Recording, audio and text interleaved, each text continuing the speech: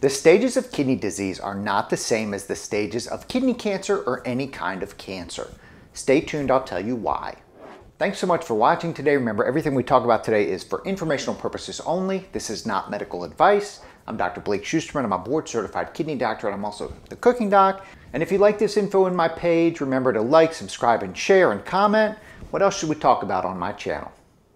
Okay, so I saw eight new patients in my office over the last week, and many of them had been dreading the appointment with me for so long because they had been told they had stage three kidney disease or chronic kidney disease, CKD. And this is understandably so. When most people think of the stages of disease, our minds wander to the four stages of cancer. And stage three cancer usually means a very serious illness. It means the cancer has spread to the nearby tissues requiring surgery or chemotherapy or radiation depending on the type of the cancer, the location of the cancer, and the size of the cancer. It's no wonder that people are so scared to come in and see me. I wish we could reinvent the stages of CKD, chronic kidney disease, so they aren't so confusing and scary, but it seems like we're stuck with them here for a while. So I'm going to explain kind of what they are and how it's different from cancer. Luckily, the stages of kidney disease are completely different than the stages of cancer. Now I'm currently working on separate videos for each stage of kidney disease so you can understand each one in depth, but I heard this question so many times over the last week that I really wanted to get this video out and kind of take the burden off some people who are worrying so much that I wanted to really get into the specifics of why CKD is not cancer and later we'll talk in depth about the stages of chronic kidney disease. Okay, now let's get to some of the differences and the similarities between the stages of kidney disease and the stages of cancer. And I'm going to start from the beginning. Stage 1. Stage 1 is less concerning in both cases, CKD and cancer. Stage 1 cancer usually means the cancer is small and localized. A cancer doctor can determine the treatment and is often easily curable. Something like surgery takes care of the cancer a lot of times if it's stage 1. Stage 1 kidney disease is often kind of the least worrisome stage. It means that the kidneys do have something wrong with them, but that something is not impacting how well they filter the waste products out of your body. In stage 1 kidney disease, the kidneys are filtering at a rate greater than 90 milliliters per minute, something called the EGFR, which is normal for a lot of people. I did a whole nother video about it. But maybe the kidneys are not quite normal because they're leaking a little bit of protein in the urine. Or maybe part of one kidney has been removed due to a previous surgery. Or maybe one kidney has gotten really small for a variety of reasons. These can all mean stage 1 kidney disease. As a kidney doctor, I'd treat stage 1 kidney disease with protein in the urine much differently than I would treat stage 1 kidney disease from somebody who's had an injury to one kidney in the past. So it doesn't really tell me much about what's going on other than the filtration rate. I'm more interested in something that tells me what I need to do to treat things and how things will change in the future. Okay, next let's move on to stage two. From a filtration perspective, it means the kidneys are filtering at a rate of about 60 to 90 milliliters per minute, which for many people is a normal filtration rate, especially as you get older. But in stage two kidney disease, just like in stage one, it's accompanied by some other form of kidney damage. So again, protein in the urine, or structural abnormality, as we call it in the kidneys. That's stage two. Stage two cancer, on the other hand, that often means that the cancer is growing, but it hasn't spread very far from the location of the original tumor.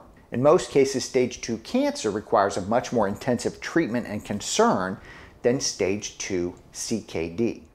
Next, stage three. This is where people usually get really worried, and I understand it. Stage 3 chronic kidney disease is usually the first time that you or someone you love has known that they have abnormal kidney function, and that often triggers a referral to a kidney doctor. Stage 3 kidney disease means that the kidneys are filtering somewhere between 30 and 59 milliliters per minute.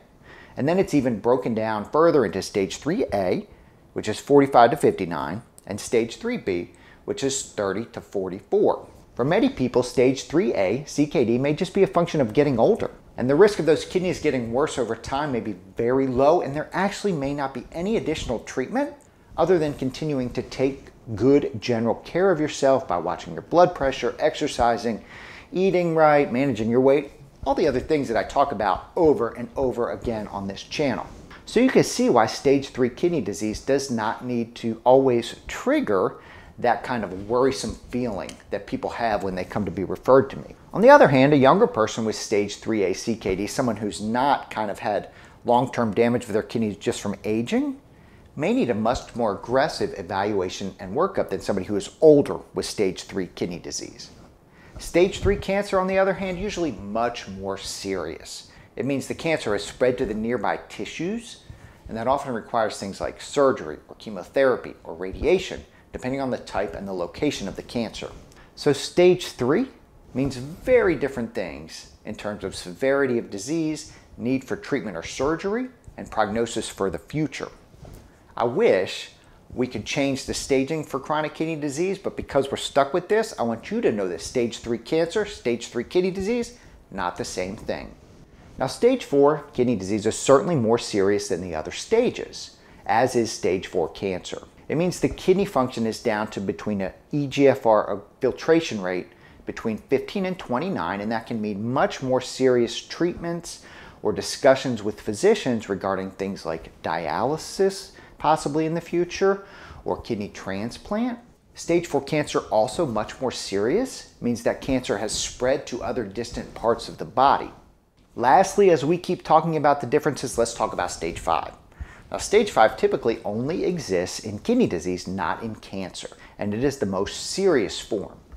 It means somebody is nearing what's called end stage kidney disease, and they're nearing the need for either a kidney transplant or dialysis. There's one other big difference in the stages between CKD and cancer. Chronic kidney disease must be going on for three or more months for you actually to get a diagnosis. So if you have a blood test or one abnormal kidney reading, it doesn't give you a diagnosis of chronic kidney disease. You need three months of it. But if you have cancer, you certainly don't want to wait three months before you have a definitive diagnosis, before you start your treatment and therapy plan. Okay, those are all the differences. Now, there are a couple similarities for sure. Each cancer and chronic kidney disease stages can be broken down further to give more specific understanding to the doctors and the patients of what's actually going on. The CKD stages are broken down into levels of protein in the urine, so that the more protein a person leaks into their urine, the more risk there is for kidney damage in the future.